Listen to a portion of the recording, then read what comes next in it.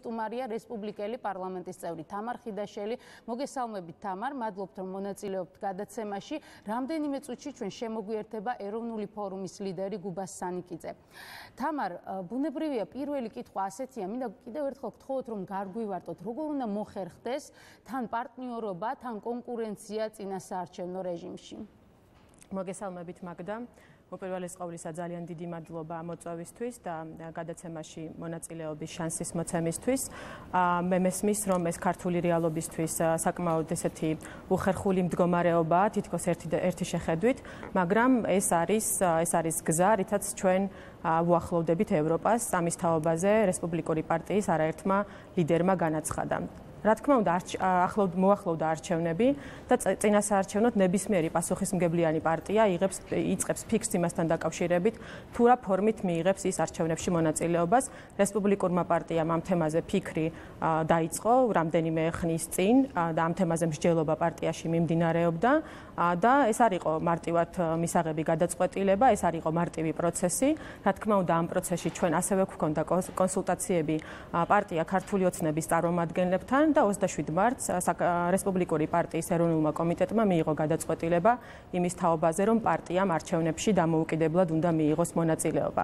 თუმცა ვართ რა და თქვენ შეკითხვას უპასუხებ, ვართ რა პასუხისმგებლიანი პოლიტიკური პარტია, ჩვენთვის ძალიან მნიშვნელოვანი არის ის დაპირებები, რომელიც ამომრჩეველს მივეცით 2012 წელს.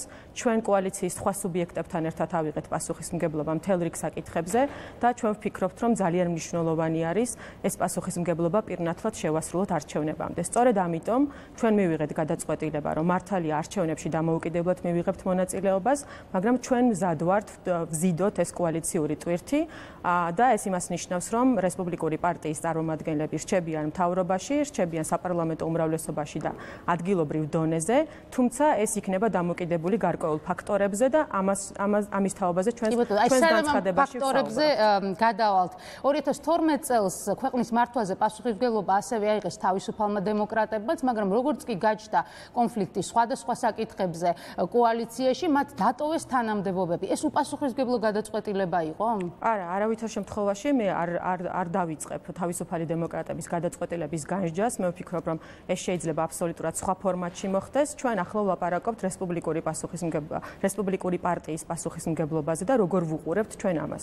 რა თქმა უნდა, კოალიციური თანაცხოვრება არ იყო ძალიან მარტივი.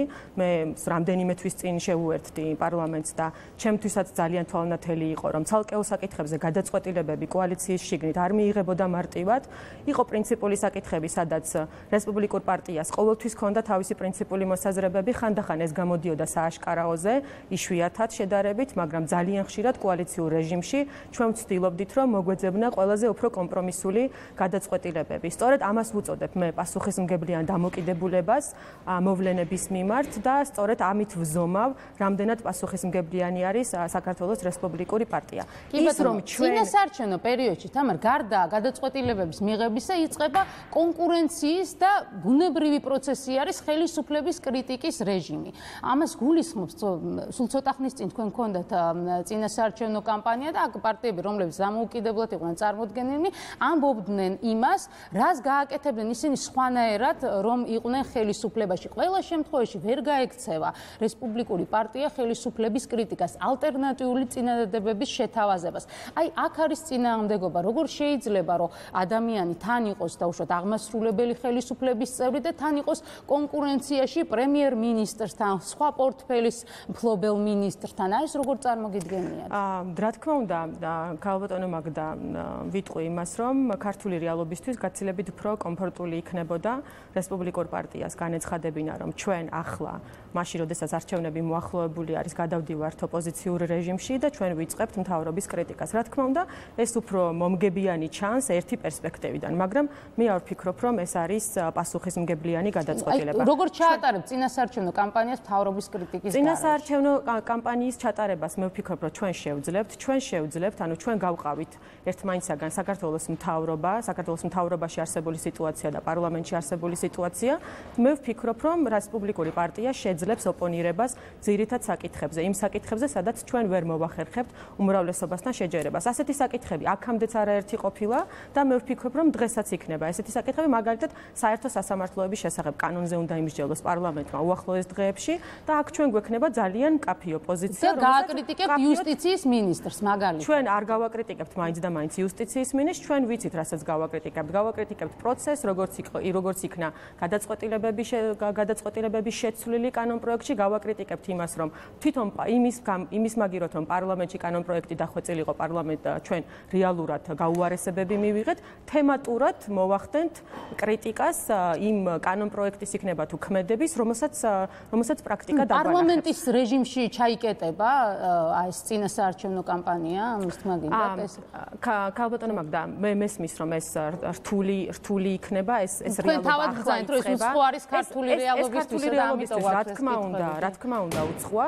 ჩვენ ჩვენ ასე ვხედავთ, ჩვენ ვფიქრობთ რომ ევროპული გზა სწორედ ეს არის, რომ რესპუბლიკის მინისტრები, რომლებიც რესპუბლიკური პარტიის წარმომადგენელი მინისტრები შეასრულებენ იმ სამთავრობო პროგრამას, რომელიც უკვე დამტკიცებული არის საქართველოს პარლამენტის მიერ, ისინი არ იხელმძღვანელებენ ვიწრო პარტიული ინტერესებით, ისინი გააგრძელებენ სამთავრობო პროგრამის შესრულებას, მაგრამ განსხვავებული სიტუაცია იქნება საქართველოს პარლამენტში, რომელიც პოლიტიკური ორგანო არის და სადაც უფრო მეტი თავისუფლება გვაქვს პოლიტიკოსებს. თუმცა ესეც იქნება დროებითი და გარკვეული პირობების შემთხვევაში. აი რა პირობებია ეს ამაზე? ამ პირობების თაობაზე ჩვენ ჩვენ ვისაუბრეთ.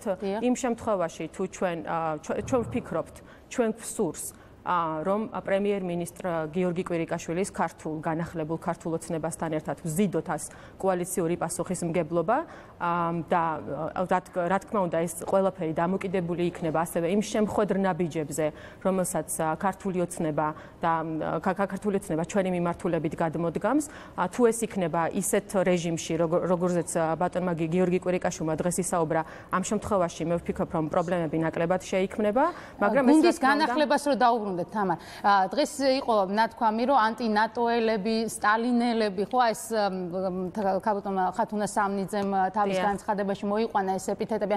ეს ადამიანები თუ არ მოხვდებიან ოცნების ახალსიაში, ამაზეა ლაპარაკი და ერთი გასაგებია მინიშნებები კონკრეტულად ვინი გულისხმება, მაგრამ აი რაც შეეხება განცხადებას, განცხადებაში მითითებულია, რომ რესპუბლიკური პარტიის წარმომადგენლები თანამდებობებს დატოვებენ მხოლოდ პარტიული პარტიის ინტერესები ვინაიდან გამომდინარე და არავითარ შემთხვევაში ანტინატოელების და სხვა შანტაჟისტების ულტიმატუმების საფუძველზე. ოცნების სიასაც ექნება მნიშვნელობა როგორც ოცნების სიას, ოცნების დამოკიდებულებას ექნება რესპუბლიკური პარტიისთვის გადამწყვეტი მნიშვნელობა. როგორ მოიქცევა, როგორ მოიქცევა ქართული ოცნება, როგორ მოიქცევიან მისი წარმომადგენლები, სწორედ ამის მიხედვით მე ვიღებთ ჩვენს ჩვენ გადაწყვეტილებას, როგორ მოხდება შემდგომში თანამშრომლობა. თუმცა ჩვენთვის ერთი რამე არის განსაკუთრებით მნიშვნელოვანი, ჩვენ ამას არ ვუყურებთ მხოლოდ ვიწრო პარტიული ინტერესებიდან, როგორც გითხარით, რესპუბლიკური პარტიისთვის შეიძლება უფრო მომგებიანი ყოფილიყო მაშინვე ოპოზიციის რეჟიმ ოპოზიციურ რეჟიმში გადასვლა და მთავრობის კრიტიკა დამერწმუნეთ ნამდვილად არ იქნებოდა ძალიან რთული თემების ნახვა, სადაც შეიძლება ხელისუფლების კრიტიკა, მაგრამ ჩვენ ვფიქრობთ, რომ ჩვენი ვიწრო პარტიული ინტერესებით არ უნდა დავაზარალოთ ქვეყნის საერთო ინტერესები. ჩვენ წინ გველოდება ვიზა ლიბერალიზაციის და დამამთავრებელი საფეხურები და ეტაპები, გარდა ამისა, ნატოს სამიტი არის წინ და ამიტომ ჩვენ ვფიქრობთ, რომ ჩვენი ნაბიჯებით არ უნდა დავაზარალოთ საერთო ეროვნული ინტერესები და ამას ვუყურებთ ძალიან დიდი ყურადღებით და სიფრთხილით და ძალიან გვიხარია, რომ ქართული ოცნებიდანაც ამ შემთხვევაში პრემიერ-მინისტრის განცხადებიდან ნათლად ჩანს, რომ მათი მხრიდანაც ანალოგიური დამოკიდებულება არის და ანალოგიური ხედვა არის ქვეყნის ინტერესებთან დაკავშირებით. არსებობს თუ არა რაიმე გარანტია, რომ როგორც კი გამწვავდება პოლიტიკური ვითარება წინასაარჩევნო და არ განახლდება საგარეჯოს არჩევნების საქმის გამოძიება დასრულებულია ეს თემა? საგარეჯოს არჩევნების თემა ჩემთვის ძალიან დიდი ხანია დასრულებული არის და მე ვფიქრობ, რომ საზოგადოებისთვის თუ ვინმეს რამეში ეჭვიეპარებოდა პროკურატურის დასკვნამ ამასთან დაკავშირებით, პროკურატურის დასკვნამ ასე ვთქვათ, ყველა შეკითხვას პასუხი გასცა. თუ ეს თემა რამენაირად განახლდება, მე ამას მხოლოდ და მხოლოდ პოლიტიკურ გადაწყვეტილებას დავუკავშირებ და ჩვენი პასუხიც და ჩვენი რეაქციაც ადეკვატური და შესაბამისი იქნება. ამ შემთხვევაში დატოვებენ პოსტებს რესპუბლიკელი მინისტრები მინისტრები? ეცით რა არის მე არ მინდა ახლა კონკრეტულ აი ამ შემთხვევაში ასე მოვიქცევით. ჩვენ ვთქვით, ჩვენ ჩამოვაყალიბეთ ჩვენი მკაფიო პოზიციები, რა შემთხვევაში გაგრძელდება ჩვენი თანამშრომლობა, ჩვენ ველოდებით შემხოდნაბიჯებს ქართული ოცნებიდან, ამ შემთხვევაში ჩვენი თანამშრომლობა იქნება, მე ვფიქრობ, რომ ნაყოფიერი და შედეგიანი და ჩვენ შევძლებთ არჩევნებამდე ამ რეჟიმის შენარჩუნებას, თუ ესე არ მოხდება, ჩვენ ამის შესაბამისად მივიღებთ გადაწყვეტილებას. დიდი მადლობა, წარმატებებს გისურვებთ. თამარ ხიდაშელი, პარლამენტის წევრი რესპუბლიკური პარტიიდან იყო მაესტროს ფაქტორის პირველი სტუმარი და